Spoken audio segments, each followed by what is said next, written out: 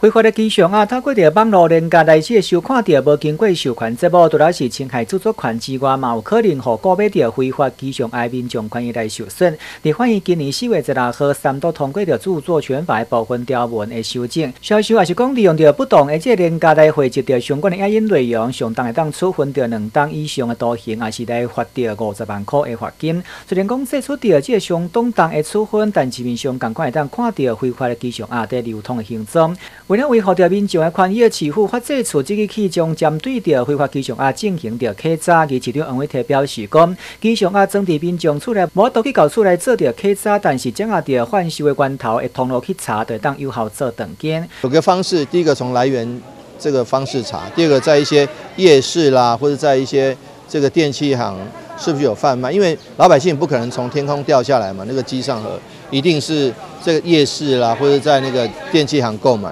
我们要从这个供应地哦，供应源的地方来做一个查查，会比较呃合乎实际。实物上应该不可能，或是不大可能进去民宅里面查，这点是目前为止请市民可以放心的。伊目前涉及着著作权侵权记录的 A P P 价值上盒是真多，N C C 嘛公告废止着审验指明的相关的机上啊，二连天电视嘛提起着消费者，千万毋通个别着带路不明的机上啊，触犯着相关的法律。伊为了省钱，民众要咧看着电视来追剧，当会使用着号称免缴费看免惊的机上啊，因为讲收视内容无受到保障授权，随时有可能面临着查着来被断信号。所以讲收看的节目，共款透过着有线电视业者提。用合法优质的收视服务，可以当确保着权益。南面新闻等一下新闻采访报道。